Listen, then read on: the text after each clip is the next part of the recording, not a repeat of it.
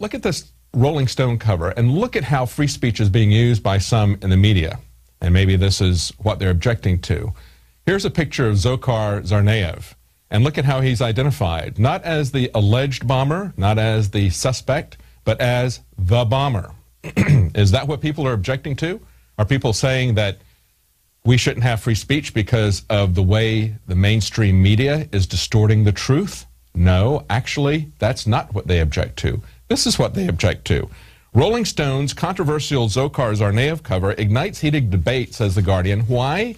Because it portrays him in too glamorous a light. They object to the fact that the picture of him looks too good.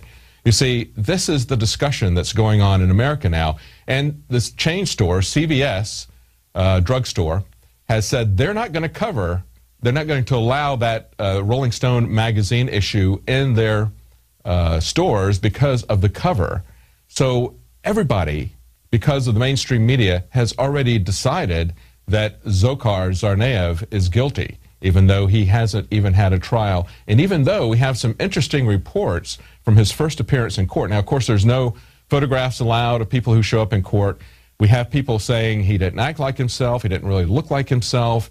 He had uh, wounds that were still from the initial uh, arrest, perhaps. Of course, they could still be beating him. He could be under drugs, so maybe he's not acting normally. Maybe that has altered uh, the way he looks to former friends and colleagues, uh, students that he went uh, to school with. But most interesting is that a Boston reporter, Boston Herald reporter, reported that he said that he re, that he uh, made his statement with a very heavy accent, and as a report showed, home movies of Dzhokhar Tsarnaev show that he has no accent when he speaks English. So there's a lot of stuff that's fishy about this whole Boston bombing.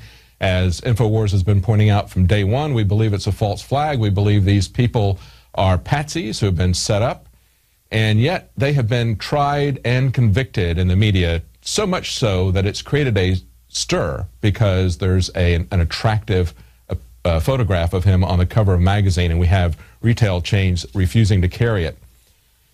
Now, we also have some uh, other examples of tyranny this is a little bit different. This is actually not government tyranny, but something that we see when Google has monopoly. You know, we covered this quite some time ago that one of our Operation Paul Revere entries, George Washington's Revenge, which had over a half a million views, was suddenly taken down by Google without an explanation. And it wasn't just that that video was taken down. Uh, off the hook, the people who, off the hook TV, the people who set this up is uh, Telly Blackwood actually had his entire YouTube channel, his business, flushed down the memory hole because of this action. He had no legal strikes, no copyright strikes against him whatsoever on YouTube. And they took down the entire channel without warning, without explanation, even terminated his Gmail accounts. And he has told us as he's investigating this, he's learned that up to 60 reposts of that video on YouTube have continued to be taken down. All they said was that there was a legal issue with his site, not saying exactly what it was or where it was coming from, kind of like the FISA court. But uh, Google took down his entire channel, and they're taking down every posting of that video, even though it's a very short comedy satire. There's no copyrighted material in it, nothing that's really offensive. He's making a little bit of fun of Michael Moore and Piers Morgan. Michael Moore took some exception to that. But that's the power that Google has. Those are the people who are working hand in glove with the NSA and the surveillance state.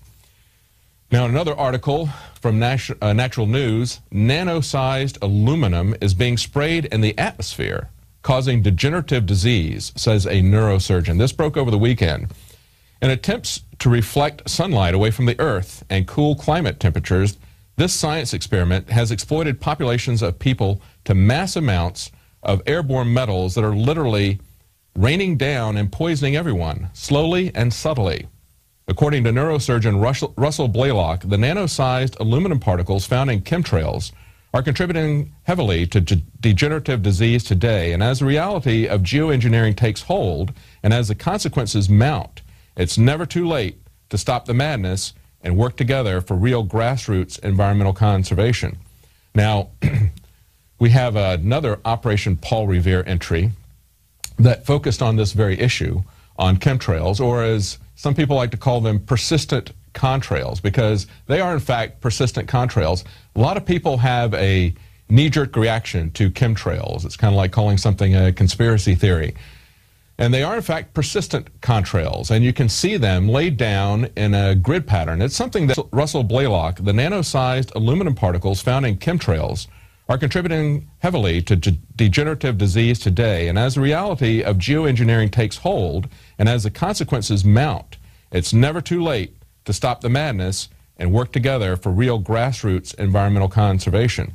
Now, we have another Operation Paul Revere entry that focused on this very issue on chemtrails, or as some people like to call them, persistent contrails, because they are in fact persistent contrails. A lot of people have a knee-jerk reaction to chemtrails. It's kind of like calling something a conspiracy theory.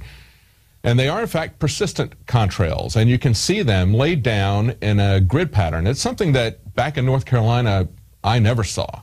But we see it all the time out here in Texas and Austin. So it seems to have uh, certain areas where the government is doing this and other areas where they're not doing it. But we can measure the effect of aluminum and we can see the effect on people's health, but we can see the aluminum in the soil. And this, uh, we have a Paul Revere entry called Look Up, which is actually a documentary. And he documents these uh, persistent contrails or these chemtrails. And he also created an app called the SkyDer app.